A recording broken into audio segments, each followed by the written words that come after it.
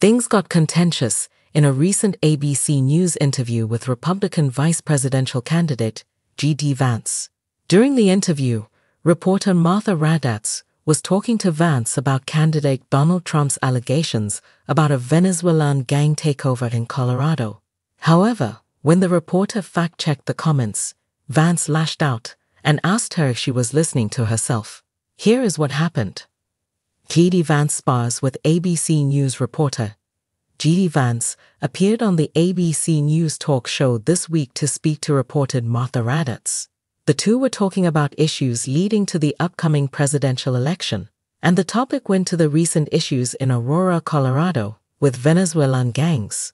While talking about the Venezuelan gangs in Aurora that had set up a drug and prostitution ring in the city, Raddatz commented on the way that Trump has referred to it. On Friday, Trump appeared in Denver, and he said that the Tren de TDA, crime syndicate had overrun the city. This led to the major saying that this was untrue. The major of Aurora said there had been gang activity in a handful of apartment complexes, but the police had taken care of the problems and have been cleaning up the gang activity. However, when Raddatz commented that the gangs had not overrun the city, as Trump had claimed, Vance stepped up and asked her if she was listening to herself. Martha, do you hear yourself? Vance asked. Only a handful of apartment complexes in America were taken over by Venezuelan gangs. And Donald Trump is the problem, and not Kamala Harris, open border. J.D. Vance accuses Martha Raddatz of nitpicking. J.D. Vance continued by saying, Americans are so fed up with what's going on. He said that apartment complexes in the United States of America are being taken over by violent gangs. Raddatz tried to bring the subject back to the fact that the gang had not overrun the city. Vance responded, A few apartment complexes, no big deal. The Aurora police had arrested 10 people with ties to the gangs that had moved into Aurora. This happened after gang members set up shop in the Whispering Pines apartments complex. They engaged in extortion, child prostitution, and other criminal acts. The police quickly moved in and shut things down. However, in his speech on Friday, Trump said he planned to bring in elite squads of ICE, Border Patrol, and federal law enforcement officers to arrest and deport every illegal alien gang member. Vance finished by saying, We've got to get American communities in a safe space again. What are your thoughts about the back and forth on ABC News? Let us know your thoughts in the comments below. In the ever escalating political landscape of the United States, few topics stir as much controversy as immigration and border security. This contentious issue once again found its way into the headlines when Ohio Senator J.D. Vance lashed out at an ABC reporter during an interview that quickly turned into a fiery exchange over the state of the U.S. Mexico border. Vance, a Republican rising star who has made a name for himself with his staunch conservative stances and populist rhetoric, has been a vocal critic of the Biden administration's handling of immigration. He argues that the lack of a robust border policy is leading to a humanitarian crisis, an increase in drug trafficking, and a breakdown of national security.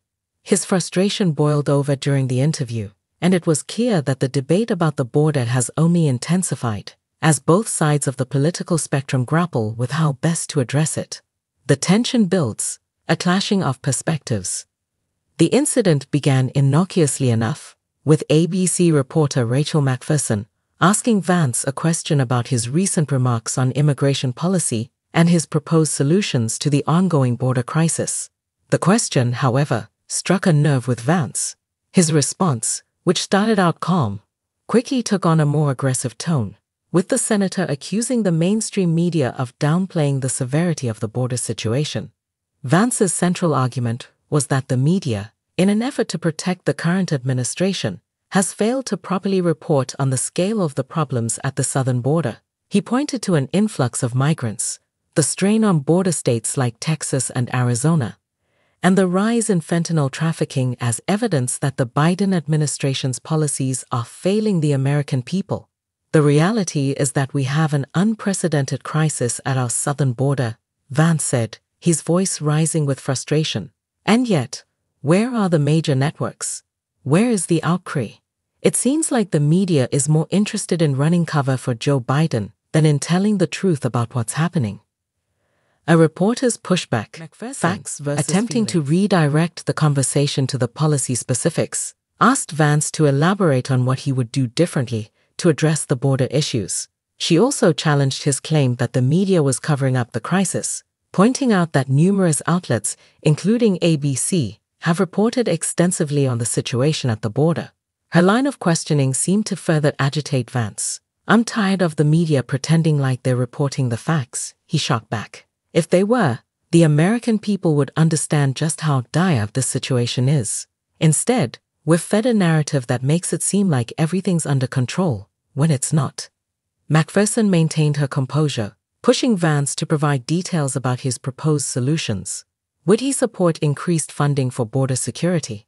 More resources for processing asylum claims? A complete overhaul of the immigration system? These are questions that voters want answers to, she suggested. But by this point, the interview had turned into a battle of wills, with Vance doubling down on his attack against the media. It's not just about policy, it's about accountability. The media should be holding this administration accountable, and instead, it feels like they're more concerned with playing politics. The bigger picture immigration as a political battlefield. This heated exchange between Vance and Macpherson is emblematic of the larger debate that's been raging in American politics for years. Immigration, and specifically the issue of border security, is one of the most divisive topics in the country. Conservatives like Vance argue that the current administration's policies are too lax, leading to an uncontrolled flow of migrants, many of whom are seeking asylum from violence and poverty in Central and South America. Vance has frequently framed the situation at the border as not just a humanitarian issue, but as a matter of national security. He has raised concerns about the drug cartels operating across the border, particularly the smuggling of fentanyl, a powerful opioid that has been responsible for thousands of overdose deaths in the US. We're dealing with a situation where the cartels have more control of our border than we do, Vance declared during the interview. This isn't just an immigration issue.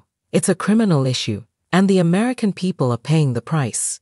On the other side of the debate are those who argue for a more compassionate approach to immigration. They point to the root causes of migration, violence, economic instability, and climate change, and argue that the U.S. should take a leadership role in addressing these issues in partnership with other countries. Critics of Vance's hardline stance accuse him of fear mongering and oversimplifying a complex situation for political gain. The media, caught in the middle, often finds itself the target of both sides. Conservatives claim that outlets like ABC are biased against them, while liberals argue that the media is too quick to amplify fear based rhetoric about immigration. It's a no win situation, and interviews like the one between Vance and Macpherson only serve to highlight the deep divisions in how the media and politicians approach the issue. Vance's vision what comes next? Despite the fiery nature of the exchange, the heart of the matter lies in the policy debate itself. Vance, who has positioned himself as a champion of working class Americans, sees the border crisis as an extension of the broader struggles faced by many Americans job loss, the opioid epidemic, and a sense of insecurity in an increasingly globalized world. His vision for solving the border crisis involves a combination of stricter enforcement, building more barriers, and cracking down on the cartels that profit from human smuggling and drug trafficking. He has also called for a complete overhaul of the asylum system, arguing that the current process is too slow and cumbersome, allowing too many people to stay in the country illegally. But whether these solutions will gain traction in a deeply divided Congress is another matter.